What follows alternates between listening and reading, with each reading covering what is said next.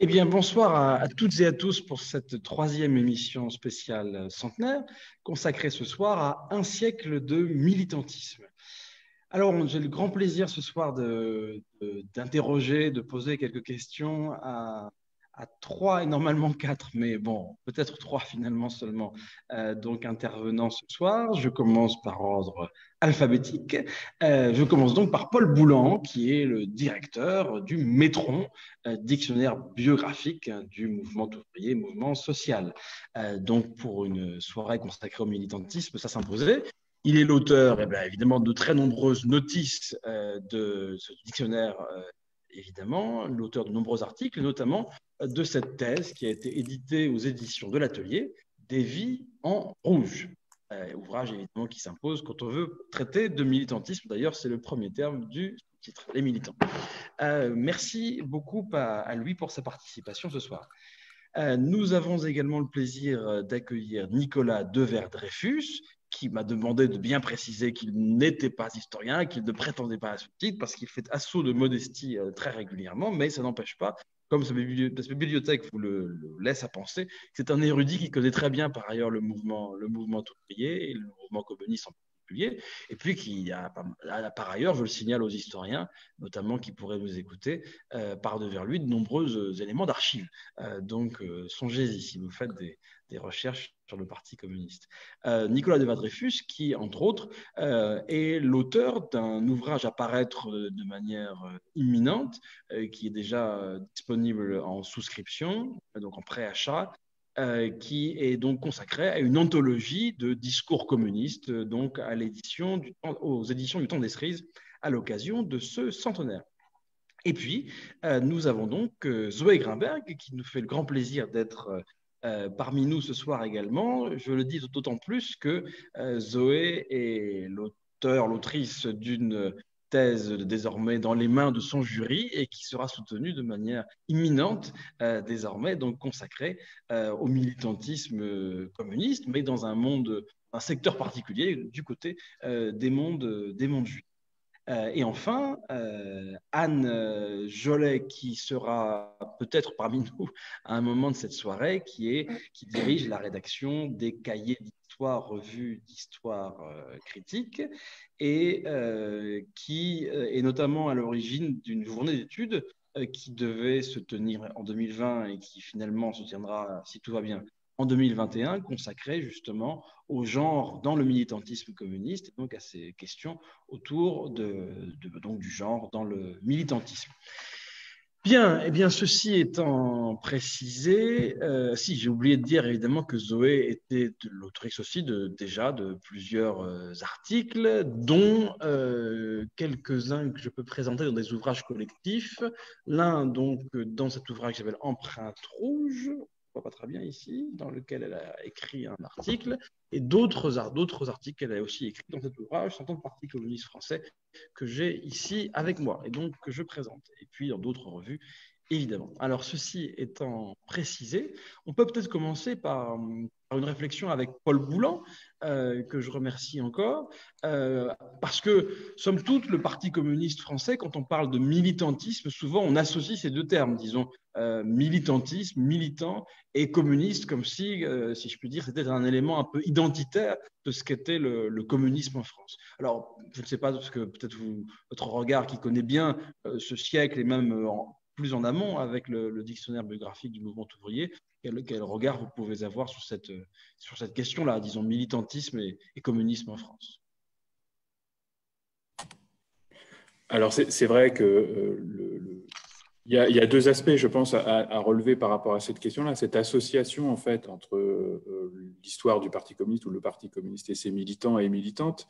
D'abord, le fait que euh, signaler, en fait, l'importance dans la vie, dans le fonctionnement d'une organisation, du mouvement ouvrier, un syndicat comme un parti, et le Parti communiste en fait partie, euh, des militants, c'est euh, finalement les forces vives de ces organisations qui les font fonctionner, qui leur donnent chair et qui leur donnent euh, d'une certaine façon un sens, euh, puisque c'est la raison d'être de ces organisations, de, de, construire en commun euh, l'action euh, politique. Donc forcément, ça s'appuie sur, sur les activités d'hommes et de femmes par, enfin, de par le territoire, etc.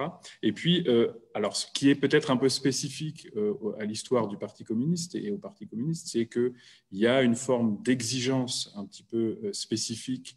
Il n'y a pas le Parti communiste refuse d'être un parti d'adhérents tout au long de son histoire, hein, même très, très tardivement. L'adhésion n'est pas censée suffire. Le fait de prendre sa carte n'est pas le seul geste qu'on attend. donc, on on parle, Annie Kriegel, par exemple, parlait des cercles concentriques en distinguant les, adhérents, euh, les sympathisants et les électeurs, par exemple, ou les lecteurs de la presse communiste, qui sont plus nombreux, évidemment, que les adhérents du parti.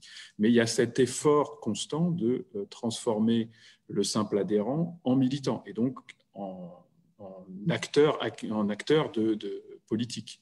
Euh, et ce qui passe par à la fois le fait de l'impliquer dans euh, différentes activités du, parti, euh, ce qui passe par le fait de le former, euh, d'en faire lui, que chaque militant soit lui-même un vecteur de, de, la propagande ou de l'activité du Parti communiste. Donc, je pense que c'est ça qui fait peut-être une association un peu plus forte et peut-être différente de ce qu'on pourrait, enfin, de, de, de, type de parti qu'on peut connaître par ailleurs ou peut-être plus dans, les temps présents de partis d'adhérents euh, euh, qui ne sont pas forcément actifs dans la vie euh, de l'organisation. Je pense que c'est peut-être ça qui fait une association un peu forte entre l'identité, enfin, l'idée de, parti communiste et la notion de militantisme comme centrale finalement dans la définition du parti communiste.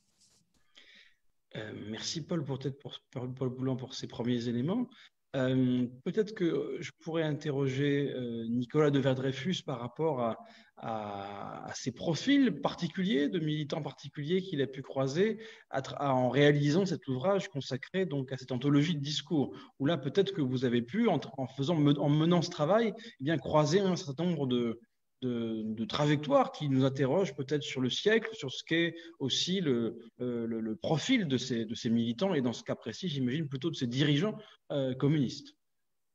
Oui, oui, ils sont, c'est tout à fait vrai. D'abord, il y a un mouvement quand même, il y a une évolution. Quand on parle d'un siècle de militants, il est bien évident qu'avec le mouvement de la société française, le mouvement des classes populaires, le mouvement des intellectuels aussi, euh, les choses évoluent et donc les, adhésions elles-mêmes, les militants elles-mêmes sont, sont liés en, profondeur à, la société dont, dont, il faut partie.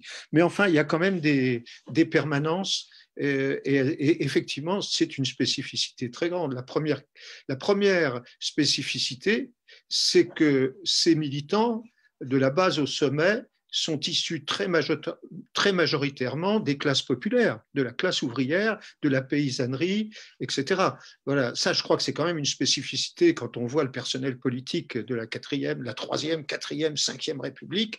On parle de quelque chose de tout à fait spécifique et c'est même valorisé. C'est-à-dire que le mécanisme de, de montée des cadres, de sélection des cadres, se fait aussi sur des critères sociaux.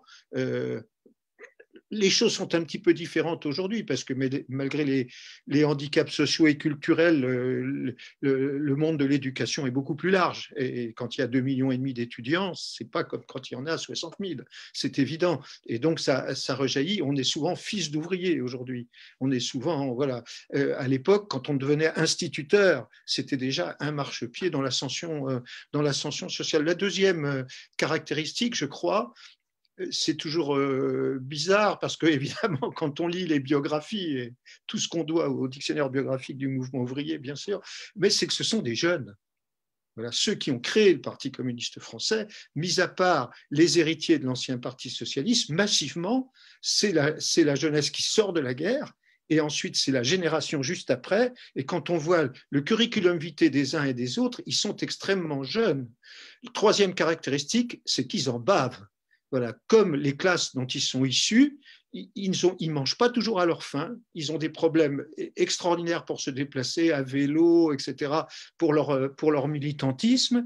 Euh, ils alternent les périodes de légalité et d'illégalité de clandestinité alors, c'est aussi pour certains l'opportunité d'aller dans les euh, institutions de la troisième internationale, pas seulement l'internationale politique, mais aussi les internationales syndicales, le Secours Rouge international, parce que plutôt que d'être réduit à la clandestinité ou de se laisser emprisonner, parfois il n'y a pas le choix, on est emprisonné, la répression est très dure dans les années d'avant-guerre, voilà, euh, eh bien, on, part pour des missions euh, dans l'international.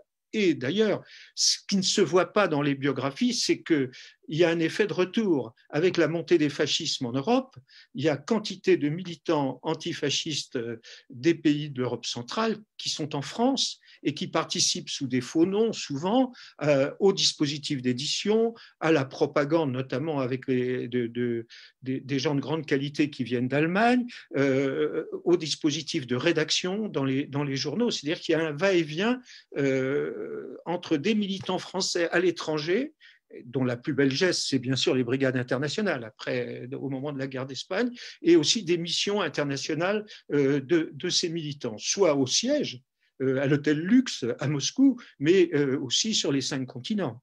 Il y a des histoires comme celle d'Octave Rabaté, euh, mais comme celle aussi de, Lise London, voilà, qui sont tout à fait intéressantes de voir comment les choses se passent. Merci pour ce premier tour de piste. Évidemment, c'est assez, la matière qu'on va brasser est assez ample.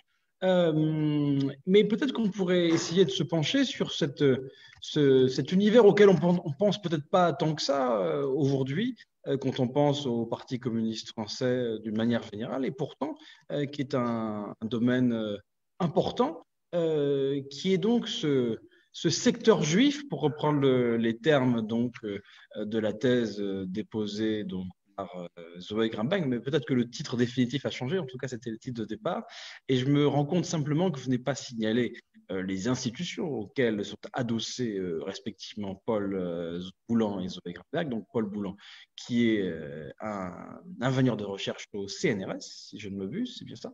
Et donc, Zoé Grimbang, qui donc, est doctorante, mais à bientôt docteur, donc à Sciences Po. Donc, Zoé Grimbang, peut-être peut que vous pouvez nous parler de ces ces militants, euh, ces du secteur juif du, Parti communiste français. Oui. Euh, donc les militants du secteur juif, comme je l'appelle, c'est en fait les militants issus de la sous-section juive de la MOI, donc de la main-d'œuvre immigrée, créée dans les années 20 par le Parti communiste français, pour euh, permettre à des militants qui ne parlaient pas français de militer dans des groupes de langue ou de nationalités spécifiques. Et moi, j'étudie en fait la suite de, ce, de cette sous-section juive de la MOI, ce qui devient en 1947 le secteur juif du Parti communiste et qui est en fait constitué euh, pour l'essentiel euh, de euh, juifs immigrés d'Europe orientale et centrale, mais surtout orientale et essentiellement polonais et yiddishophones. et donc ces militants, alors moi j'ai travaillé sur l'élite de ces militants, c'est-à-dire que j'ai un corpus de 26 militants qui sont euh, euh, à la fois issus d'un milieu ouvrier, disons pas vraiment ouvrier, mais un milieu euh, de petits artisans juifs de Pologne, mais qui se distinguent, en tout cas pour les cadres et les dirigeants que j'ai étudiés, par une spécificité culturelle, disons, c'est-à-dire beaucoup d'entre eux, on parle de nombreuses langues, ce qui est spécifique à cette minorité, euh, qui a immigré, mais qui parlait à la fois donc, le yiddish, le polonais, souvent l'allemand, parfois le russe, qui parle aussi français, et qui a un attrait pour, euh, pour la culture euh, au sens large, donc la littérature, l'art, etc. Et parmi les quatre que j'ai étudiés, beaucoup sont certes d'extraction relativement populaire, avec cette spécificité culturelle qui a poussé leurs parents à les faire étudier si possible mais dans le cadre de leur trajectoire d'immigration, euh, lorsqu'ils arrivent en France, ils vivent des vies d'immigrés euh, de classe populaire. Euh, ils travaillent comme manœuvre sur des chantiers, à l'usine, beaucoup dans des ateliers d'artisans. et les, cadres-là vont réussir à mener une vraie carrière politique, à devenir des professionnels de la politique au sein du Parti, du parti communiste et de son secteur juif. mais la plupart des militants euh, de, la base du secteur juif euh, du Parti communiste français sont des militants qui partagent en fait le profil de beaucoup de militants euh, du parti, à ceci près effectivement qui sont issus de l'immigration yiddishophone et qui sont dans des secteurs d'activité un peu différents. on est moins dans le profil du, militant ouvrier de l'usine et plutôt sur des, voilà, des artisans très urbanisés, très parisiens. Merci peut-être pour ce premier éclairage. Euh, j'en profite pour essayer d'intégrer les questions que je lis euh, dans le, le, fil Facebook en ce moment. Euh, et ça me fait penser, il y a une des questions qui me fait penser à ce que un article de, Paul Boulan, donc je vais la lui poser. Yannick, nous, Yannick Puticaz nous indique N'oubliez pas, l'humanité notre journal. En l'occurrence, il précise que mon papier a vendu sur les marchés. C'est aussi ça le militantisme. Peut-être qu'on pourrait revenir sur donc la, place de l'humanité, la place du journal dans le militantisme communiste, qui, je crois, euh, enfin en tout cas vous l'avez montré dans, un article que j'ai en tête, euh, tient une place particulière dans le militantisme communiste.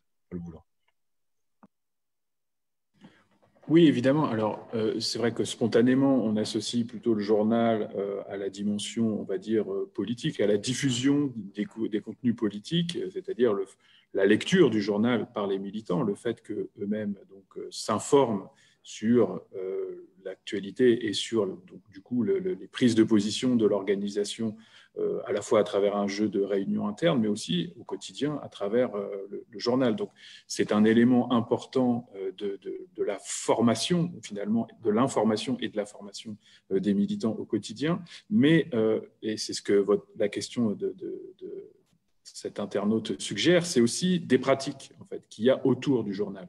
Et, ce sont des pratiques qui créent du lien. C'était un peu, enfin, cet article, il date un peu, je crois que c'est mon premier article, ça date de 2004 au moins. Donc, euh, c'est presque.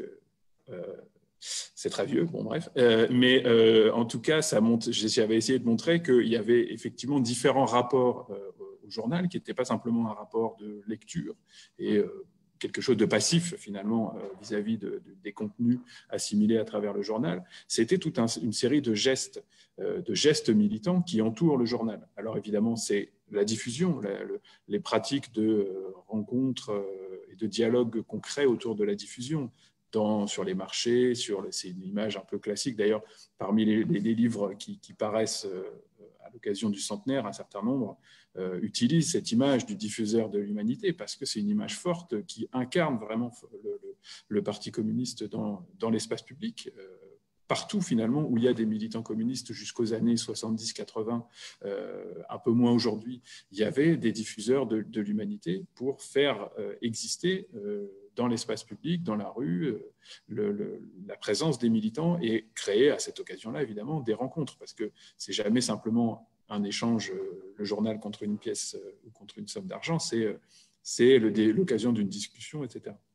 Et donc tous ces gestes, ça fait partie des gestes, finalement, des gestes militants qui sont communs, qui sont en commun dans l'ensemble du, Parti communiste et très durablement dans, son histoire.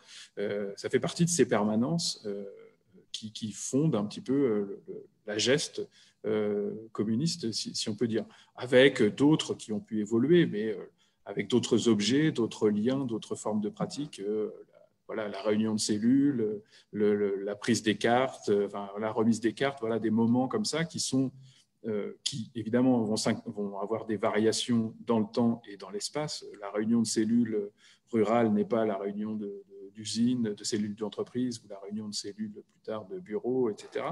Donc tout ça évidemment introduit des variations. en plus, il y a c'est aussi une chose qui est intéressante à noter. Les cellules, elles existent euh, quand les gens se réunissent. Donc, en fait, il n'y a pas forcément un lieu, il n'y a pas un siège de toutes les cellules de France euh, autour de, dans l'histoire du Parti communiste. Donc, euh, ce qui fait exister une cellule du Parti communiste, c'est la réunion des gens, qui peut être au café, qui peut être chez un militant, qui peut être dans des tas de lieux.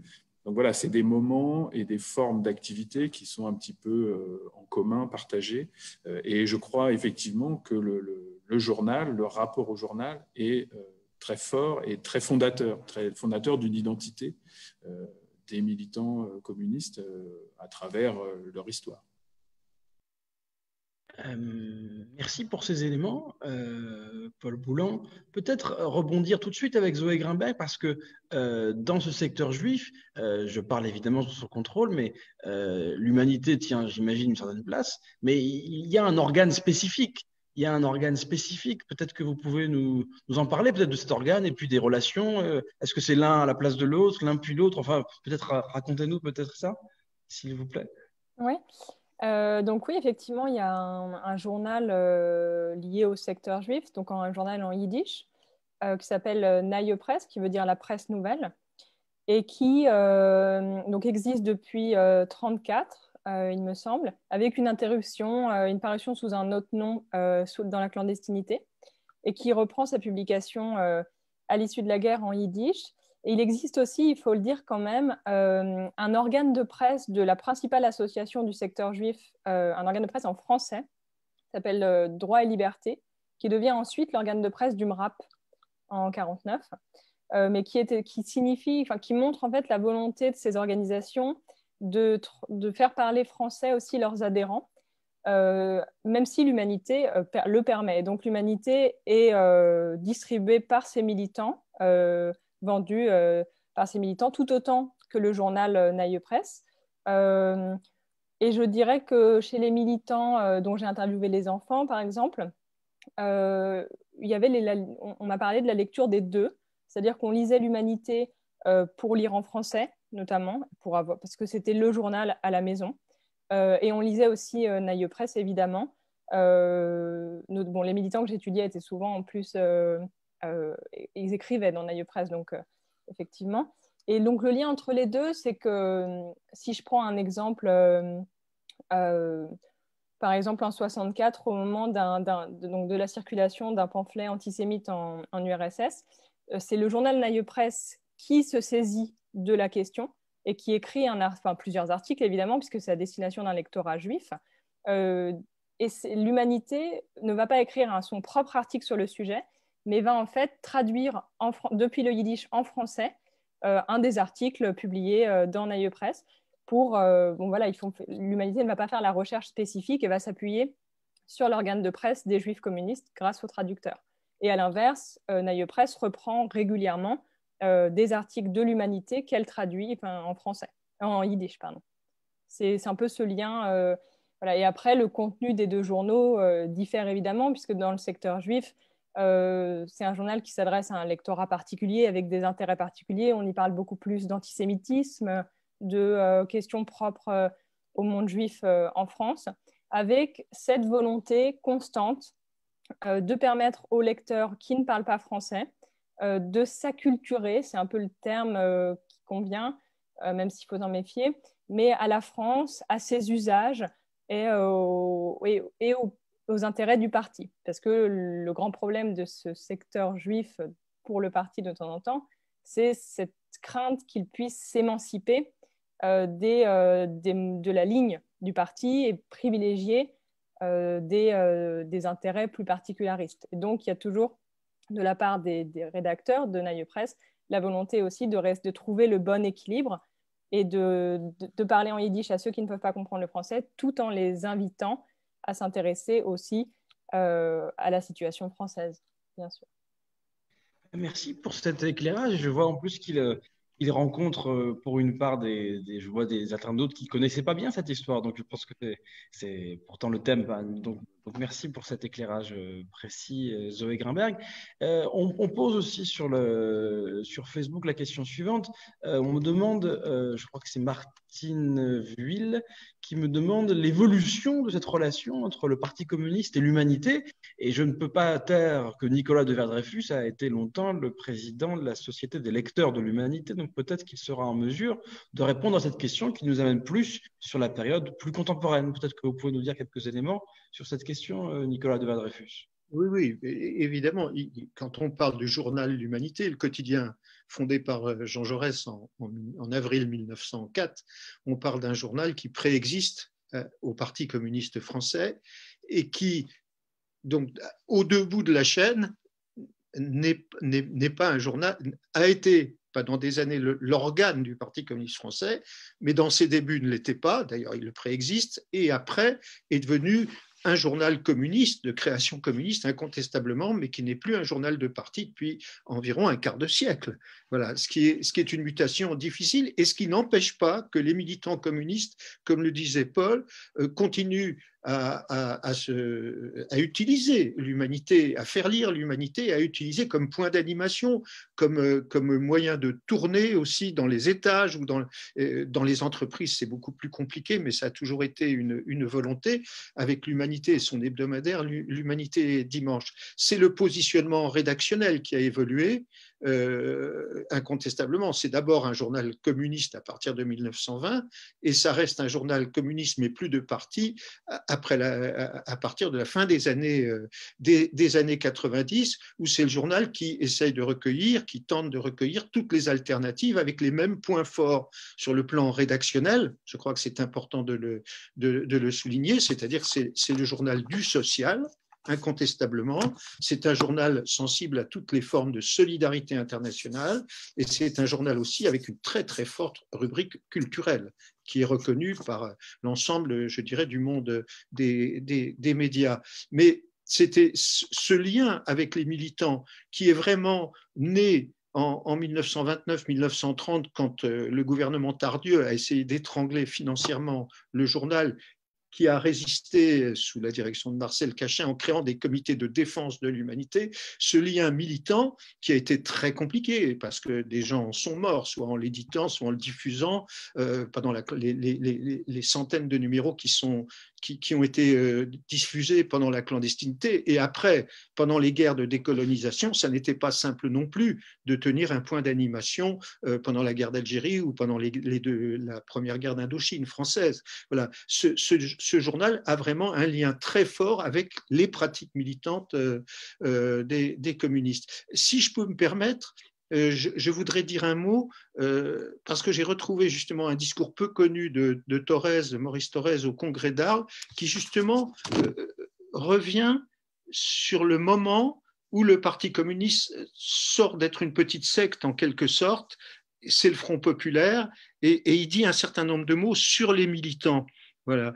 je, crois que c'est important de le dire parce que ça montre aussi ce qu'était le communisme. Je crois que ça n'est absolument pas démagogique. Voilà, c'est à tous les militants obscurs du grand parti communiste, à tous ceux qui ont lutté et souffert sans défaillance dans les années difficiles que va en ce moment notre pensée fraternelle. Rendons hommage à ces artisans modestes et, sûrs de nos succès, au cellulaire dont on s'est moqué avant de l'imiter, qui a reconstitué vingt fois son groupe, vingt fois l'a vu se disloquer sous les coups de la répression patronale et policière, et qui, à la vingt et unième fois, est devenu le dirigeant de centaines de militants communistes. Rendons hommage aux journaliers, à l'artisan, aux paysans communistes, isolés dans son village, parfois méprisés, toujours combattus, qui a préparé la belle moisson du présent et celle plus belle encore de demain.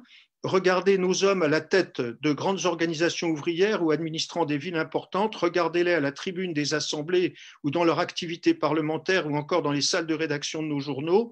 Presque tous sont des ouvriers, des paysans authentiques, parmi eux de grands, de vrais intellectuels, des universitaires éclairés, des savants réputés, des écrivains de talent, des artistes renommés. Ils sont les fils du peuple, ils sont le peuple de France. Je dis ça parce que c'est le moment justement 1937, avant les années sombres, enfin qui commencent déjà évidemment, mais c'est le moment où le Parti communiste devient à son âge adulte, en quelque sorte avec les espoirs et ensuite les, désillusions de la période euh, du Front populaire, bien, évidemment. Merci pour ce regard, euh, Nicolas de Vadrefus, entre présent et passé, avec la casquette euh, particulière qui est la tienne, parce qu'on m'a fait le reproche, parfois on m'a dit, mais euh, me dis donc, tu n'invites que des historiens. Non, non, non, l'histoire n'appartient pas qu'aux historiens, donc c'est bien aussi que, d'autres regards soient proposés, et, merci pour, ce, pour cet éclairage. Euh, un, mot peut-être, euh, toujours pour suivre les, les réactions, euh, mais ça mériterait bien deux questions. Et si tu veux, si vous voulez, Paul Boulan, on peut en faire qu'une seule, que vous développerez en deux temps si vous voulez. Euh, comment dire, on me, on, on, me demande rien du tout d'ailleurs, mais on demande, en l'occurrence, euh, à l'un ou l'une d'entre vous, de parler des militantes, donc militants au féminin, question que j'avais un peu envisagée justement pour pour euh, Anne Jolet, mais peut-être, mais comme vous êtes aussi euh, à l'origine d'un article sur ce sujet avec Julien Michy euh, dans une période plus récente, peut-être que vous pourriez évoquer cette question, mais j'étais bien tenté quand même de vous demander de développer aussi le cas, je crois que c'est André Moat en tout cas, de cette militante justement dont vous avez retrouvé l'agenda, enfin le, oui l'agenda, voilà, et donc qui nous permet d'avoir une belle entrée dans, dans le, concret du militantisme communiste des années 1950 pour naviguer entre le Front populaire de Nicolas de Vadrefus aujourd'hui et puis ces années 1950.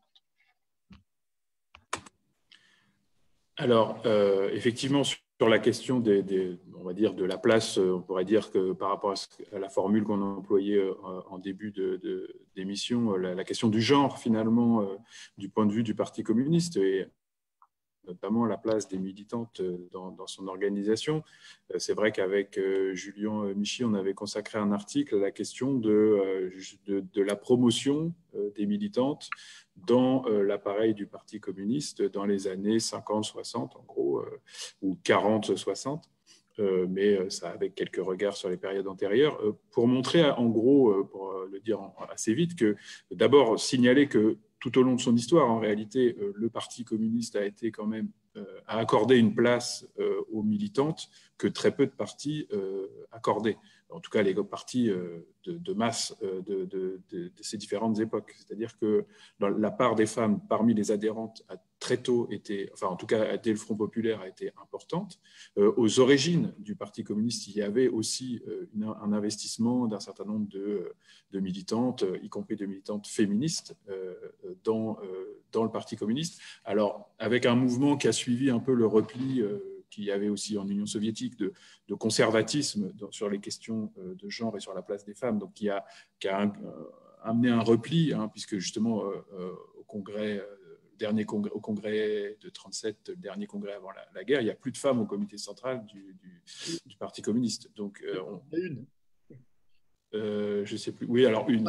ça baisse en gros. Martha en tout cas, là, il y a un mouvement de repli sur, ces, sur ce, sur ce point-là, qui ensuite à la, libération est compensé. Et dans les années 50, il y a un vrai, euh, un vrai effort euh, pour euh, intégrer dans les appareils intermédiaires et dans la direction du Parti communiste des militantes et donc organiser d'une certaine façon cette promotion de militantes dans l'appareil, mais avec des ambiguïtés, puisque, comme ça a été d'ailleurs déjà évoqué, il y a dans le Parti communiste un primat accordé aux classes populaires et notamment à, la classe ouvrière. Et en fait, un décalage en fait, entre le fait que souvent euh, les femmes ouvrières, donc les ouvrières, euh, avaient beaucoup de, difficultés à combiner l'activité militante, l'activité euh, professionnelle et souvent donc, les, tâches domestiques, etc., qui, leur, qui continuaient à leur, être, à leur, incomber. Et donc, c'était plutôt des, des employés, des secrétaires, des employés évidemment euh, modestes, mais c'était plutôt des employés euh, qui étaient les militantes euh, femmes, et donc elles n'arrivaient pas à combiner, si j'ose dire, tous les attributs valorisés par la promotion des cadres dans le Parti communiste. donc il y avait un décalage, et c'est plutôt des femmes, pas diplômées, mais dans des, professions tertiaires, qui étaient intégrés à l'appareil. Et euh, au contraire, souvent, les ouvrières avaient des, avaient des difficultés à s'inscrire dans la durée, à inscrire leur engagement militant dans la durée. Euh, ce qui me permet de faire effectivement un petit peu la, jonction avec cet exemple que j'ai pu euh, décortiquer d'André Moat, militante qui est d'abord une militante de région parisienne puis de Bretagne, qui que effectivement j'ai étudié, alors qui elle est, est, une intellectuelle pour le coup et pas du tout une ouvrière, c'est une bibliothécaire, c'est une collègue, une bibliothécaire du CNRS qui travaille en région parisienne puis euh, en, Bretagne, donc à, Roscoff. Et euh, par un jeu de hasard d'archives et de retrouvailles, enfin de, conservation d'archives, on a pu conserver euh, ces agendas et voir qu'est-ce que c'était le quotidien de l'activité militante alors effectivement, pour une militante qui n'est pas en usine, qui n'est pas, euh, euh, pas l'incarnation du modèle ouvrier euh, classique, le plus facilement, plus spontanément associé au Parti communiste, mais une militante qui bah, qui justement passe beaucoup de, met une énergie considérable à diffuser l'humanité, organiser des réunions de cellules, rédiger des tracts, diffuser ces tracts, etc. Et que j'ai pu suivre quand elle se déplace en région, donc en Bretagne, là où il n'y a plus un parti communiste puissant, et où elle essaye de, de, devenir à nouveau une militante locale, alors qu'elle n'est pas euh, bretonne. Elle devient une militante locale en s'insérant dans tout le tissu local. Et là, j'ai pu le suivre, là aussi avec ses archives, dans un livre euh, collectif dirigé par euh, Erwan Legal et François Prigent, où on, voit, où on la voit reconstituer autour d'elle une petite vie de, cellules, réunir les militants, faire vivre avec la diffusion du journal, avec aussi le ciné-club, avec des activités culturelles.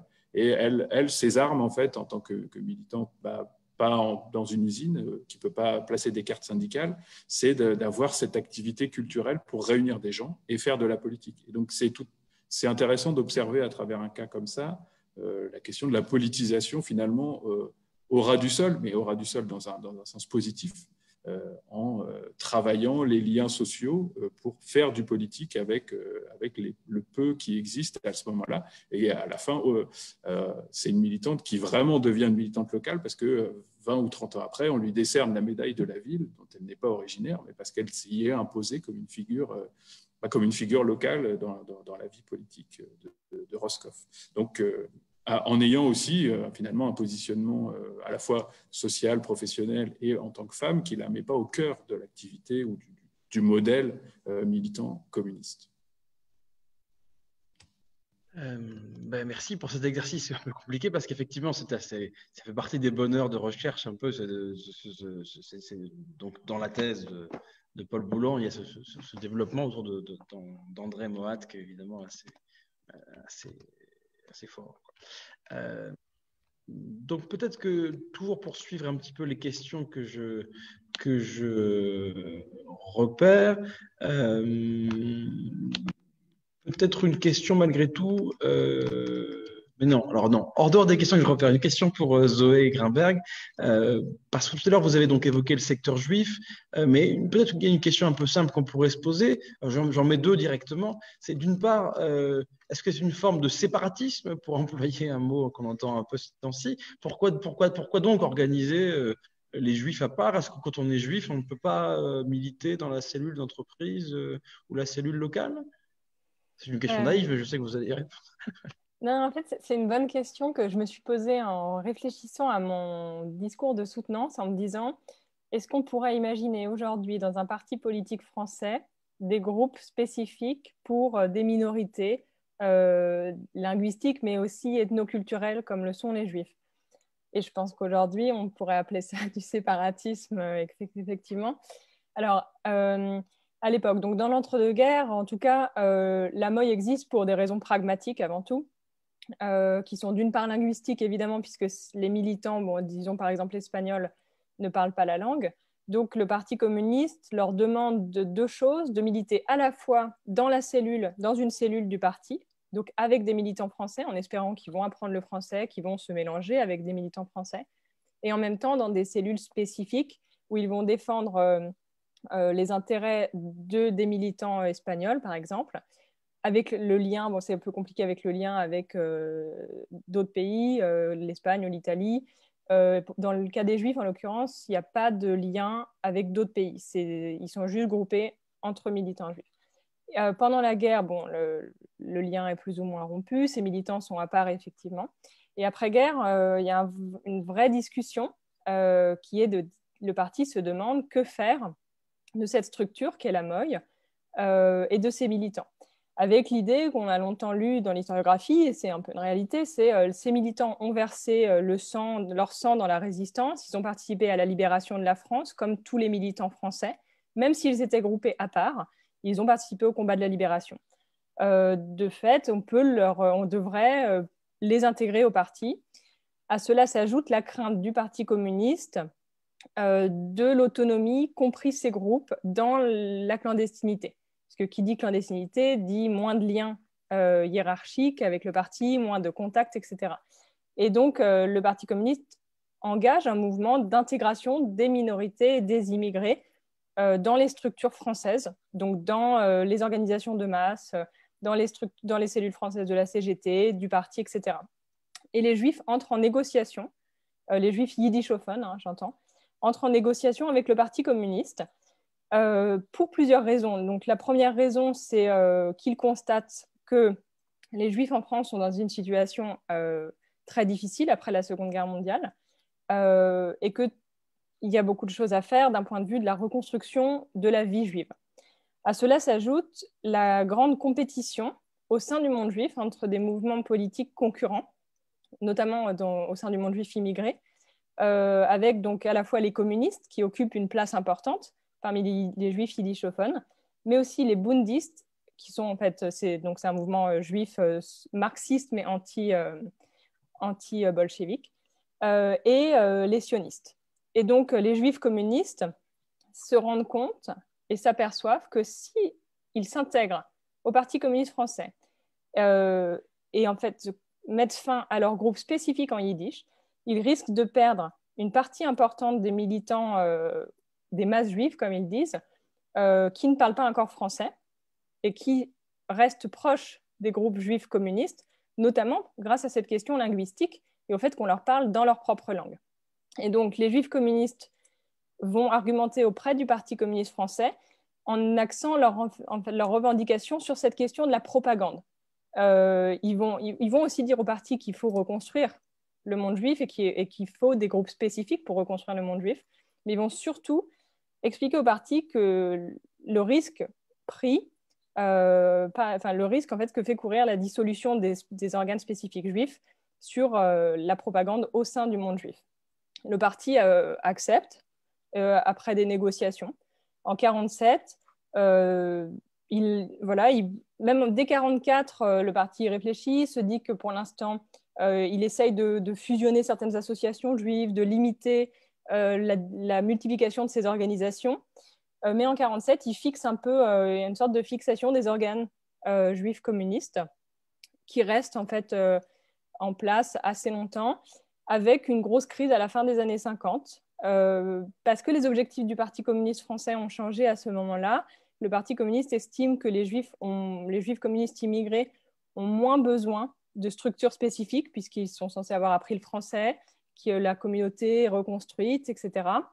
et dans le contexte euh, de, disons, d'antisémitisme en URSS euh, et de, de, de discussions au sein du monde juif communiste sur euh, l'URSS et son rapport aux juifs, le Parti communiste s'aperçoit qu'il risque de perdre un certain nombre de militants du secteur juif qui commencent à mettre en doute leur engagement politique et, et leur foi dans le communisme, et décide de reprendre en main ce secteur juif et de lui donner quelques règles, à savoir euh, qu'à présent, euh, le, secteur juif du Parti communiste a le droit d'exister, mais qu'il doit euh, d'abord et avant tout défendre les objectifs du Parti communiste, à savoir c'est lutte contre le fascisme, lutte contre le réarmement allemand, lutte contre la guerre d'Algérie, et pas, et pas s'intéresser prioritairement aux objectifs juifs, en fait. Donc là, il y a un changement, mais il n'y a pas de dissolution le, groupe existe encore.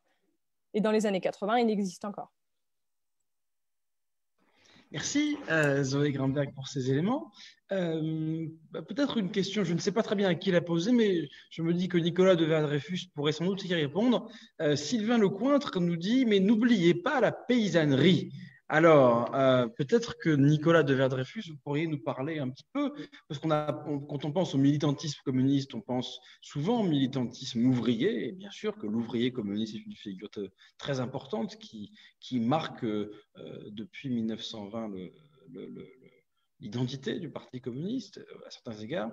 Mais c'est vrai qu'il y a bien sûr ce, militantisme paysan. Peut-être que vous pourriez nous en dire un, mot, Nicolas de Verdreyfus. je vais essayer, oui dès les débuts du Parti communiste français, il y a une trace paysanne très forte, et elle est incarnée d'ailleurs par le seul député qui a été élu juste avant le congrès de Tours, le premier député communiste, c'est Renaud Jean, député de Marmande, député de Marmande et, grand blessé de la guerre de, 14-18. Qui, euh, euh, sous son impulsion, mais c'est vrai que la France de l'époque était beaucoup plus paysanne que de nos jours en termes de population, hein, de démographie tout simplement, et, de place dans la société, mais le, Parti communiste, dès 1921, euh, sort un programme agraire très complet. Et Renaud Jean est l'animateur avec des associations, une confédération paysanne, des, des, journaux, avant la Terre, après ce sera la Terre, à tel point que au moment du Front populaire, Renaud Jean est le président de la commission de l'agriculture à la Chambre des députés. C'est une commission très très puissante hein, du point de vue de c'est un régime parlementaire la troisième République. Donc le président de la commission de l'agriculture, euh, il fait beaucoup de choses. Il milite pour par exemple la création de l'Office national des céréales, pour la régulation des prix, pour la défense de la petite paysannerie. et il a un dauphin. Ce dauphin, c'est un homme de la Saône-et-Loire, c'est Valdec Rochet dès avant, euh, dès avant la guerre de, de 39, qui lui-même, après son, la clandestinité, où il a un temps représenté le Parti communiste français auprès du général de Gaulle à, Londres, et qui lui-même devient président euh, de, de, la commission de l'agriculture à l'Assemblée constituante euh, en 44-45 et qui sera le leader, si j'ose dire, euh, de, la, de la trace paysanne, le leader du militantisme paysan, suivi ensuite par un homme de l'Allier, André Lajoigny, qui sera un temps aussi candidat aux élections présidentielles.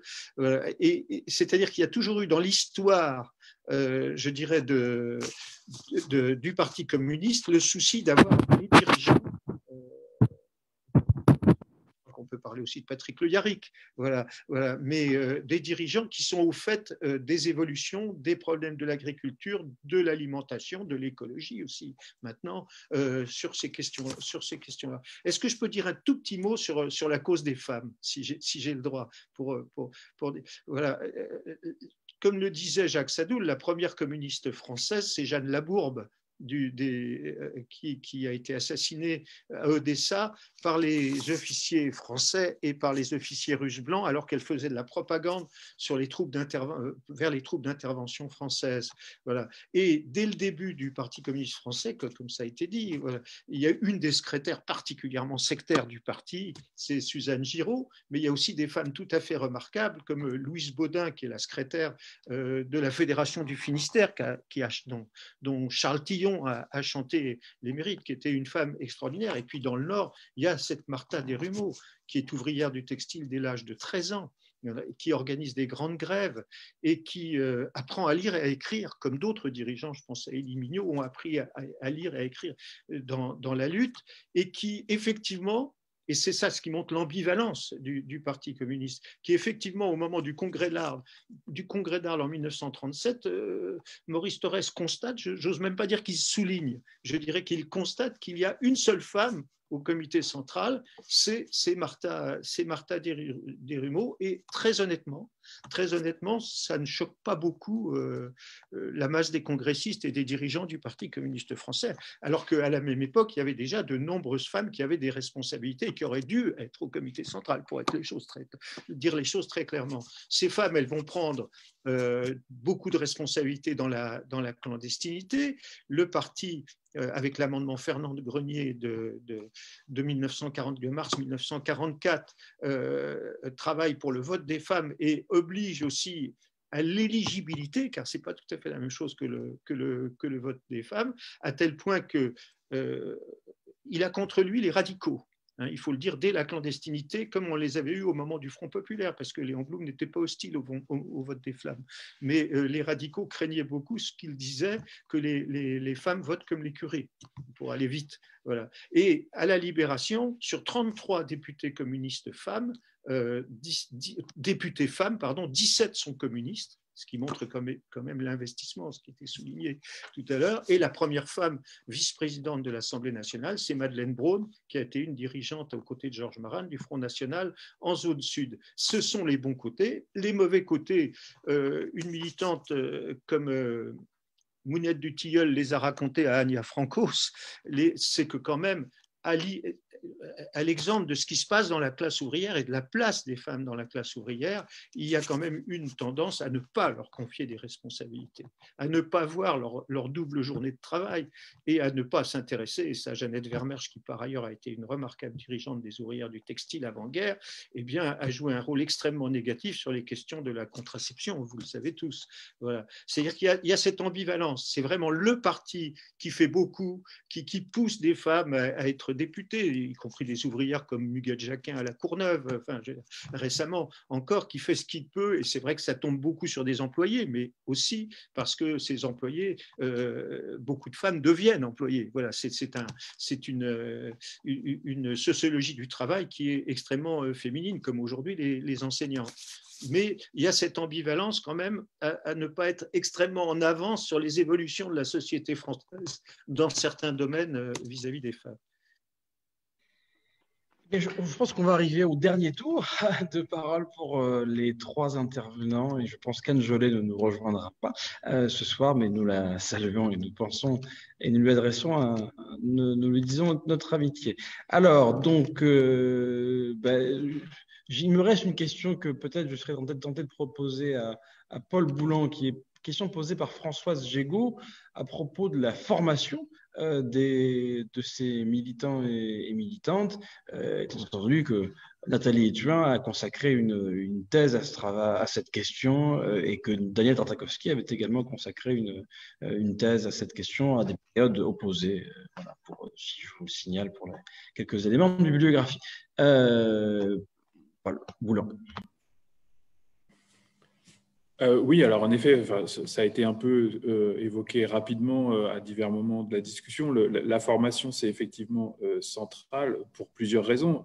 et en premier lieu, parce que le projet, on va dire, social et politique du Parti communiste à partir, assez tôt, en tout cas à partir de la fin des années 20, ça se concrétise, c'est de faire advenir en politique des représentants des classes populaires, essentiellement la classe ouvrière en, en lien avec euh, les, principes euh, marxistes, on va dire, euh, mais aussi, et ça a été souligné juste avant, les classes populaires rurales. Donc, faire advenir en politique les classes populaires, ça veut dire aller à l'encontre d'une illégitimité, et notamment le fait qu'ils sont censés ne pas avoir suivi, ne pas avoir la formation suffisante pour jouer des rôles de représentants politiques, de députés, de maires, etc. Donc c'est un des moyens essentiel pour euh, justifier de la place de ces euh, représentants des classes populaires dans le champ politique, c'est de mettre en avant cette formation. Euh, donc formation dès les, niveaux élémentaires, hein, puisqu'il y a différents, en gros, assez vite structure un système de formation avec des écoles de, de cellules ou de sections, des écoles fédérales ou régionales, et puis des écoles centrales avec aussi euh, à différents moments entre deux guerres, puis euh, dans les années 60, des écoles de formation internationales euh, en Union soviétique. Donc une formation qui est vraiment un, enjeu central à travers ces, écoles, et puis un encouragement constant, je dirais, à l'auto-formation, à la lecture et à l'autodidaxie. Et ça rejoint aussi ce que disait Zoé tout à l'heure, parlant des cadres qu'elle a pu étudier beaucoup de, dirigeants euh, intermédiaires ou dirigeants euh, de premier plan du parti sont euh, habités par cette, cette appétit culturel, cette, ces pratiques de lecture intensive dès le plus jeune âge, cette dynamique de voilà d'apprentissage et d'auto-apprentissage qui fait qui, qui, les rend disponibles aussi pour le, travail politique et qui les rend qui leur permet de, dépasser les, différentes, les différents obstacles du, travail politique. Donc c'est évidemment euh, euh, fondamental euh, dans l'accès finalement au, statut de cadre politique, de militant, de responsable au sein du Parti communiste. Et ça explique aussi sans doute un investissement très fort du parti sur les questions de, culture qui a été aussi évoqué dans la discussion. Merci beaucoup, Paul, Paul Boulan. Euh, j'ai une question pour Zoé Grimberg de la part de Baptiste Giron, qui par ailleurs est un collègue, euh, donc, euh, qui me demande de poser, demander à Zoé Grimberg si ces groupes juifs de la Moye ont tenté de construire des groupes équivalents s'adressant aux juifs des colonies françaises en Afrique du Nord, autrement dit les séfarades, et si ce n'est pas le cas, ils demandent si c'est pour des raisons sociologiques, culturelles, géographiques ou autres. Euh, alors, bonne question. Euh, donc, les juifs euh, yiddishophones du secteur juif après-guerre ont d'abord euh, tenté, dès l'issue de la guerre et beaucoup dans les années 50, de s'ouvrir aux juifs dits français, même si les juifs yiddishophones avaient pu entre-temps devenir français, être naturalisés. Donc, ils ont d'abord visé cette catégorie de juifs anciennement français. Et à mesure que des juifs séfarades issus des, euh, donc euh, des anciennes colonies françaises euh, arrivées en France, il y a eu des tentatives, effectivement, de s'adresser à ces, à, ces, à ces, nouveaux juifs en France, mais qui n'ont pas vraiment fonctionné pour une simple et bonne raison que le yiddish était une partie intégrante du militantisme et de la culture de ces juifs communistes. C'est-à-dire que pour eux, être juif communiste, c'était être juif communiste en yiddish, euh, même s'il parlait français par ailleurs euh, tous les jours. Et la dimension euh, culturelle yiddish, la langue, disons cette spécificité-là, a en fait conduit ces groupes-là à mourir tout doucement, si l'on veut.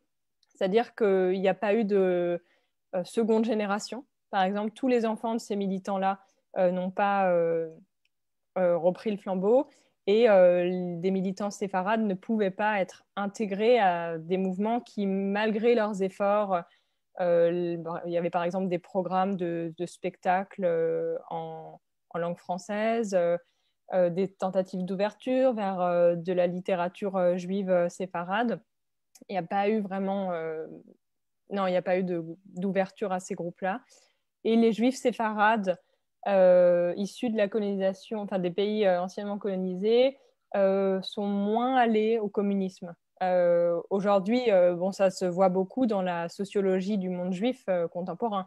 le monde juif contemporain français aujourd'hui est principalement à droite et principalement composé de séfarades. et c'est une des différences politiques fondamentales entre ces, deux, entre ces deux parties du monde juif. Merci beaucoup Zoé. Grimberg, en, rappelant peut-être que tous les juifs communistes ne militent pas dans ces structures euh, non, bien sûr. spécifiques. Hein.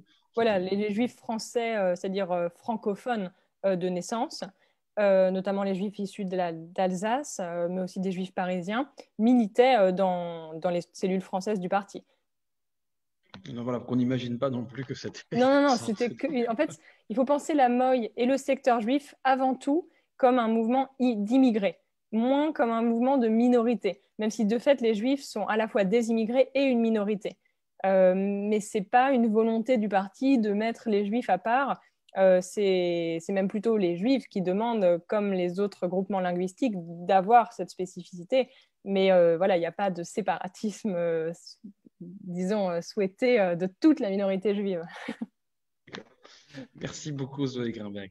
Un dernier mot pour euh, Nicolas de Verdreyfus, euh, peut-être parce que je ne vois que lui pour répondre à cette question d'André Vizem, qui est, euh, en tout cas dans le, plateau des intervenants, euh, qui est qu'est-ce qui a disparu, autrement dit, quel, militantisme communiste aujourd'hui, puisqu'on parle d'un siècle, et ce siècle ne s'arrête pas en 1960 ni 70, donc il faut quand même envisager les choses jusque dans le présent. Et donc peut-être que Nicolas de Verdreyfus pourrait nous donner quelques éléments à ce propos c'est un vrai chantier, en fait. Et c'est très intéressant. Je parle aussi aux, responsables à la formation de du, nouveau siècle. Voilà. Mais euh, je, je, dirais que la principale interpellation, et ça n'est pas la seule sans doute, mais c'est la principale, c'est la question de l'intervention à l'entreprise aujourd'hui parce que le travail s'est morcelé, parce que ces grandes usines sont ce qu'elles sont, parce que la répression est revenue et l'affrontement idéologique est extrêmement dur.